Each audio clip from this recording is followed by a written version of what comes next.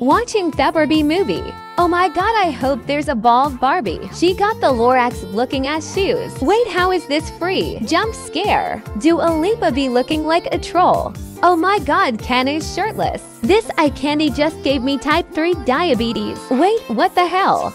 Some bitch pulled the fire alarm. Those nerdy Oppenheimer fanboys can choke. This is the worst terrorist attack since 9-11. Didn't even get to see Ken wearing a shirt. I snuck into another theater lol. What the Barbie exorcism is this? This is terrorism. No way. Is that Aunt Jemima?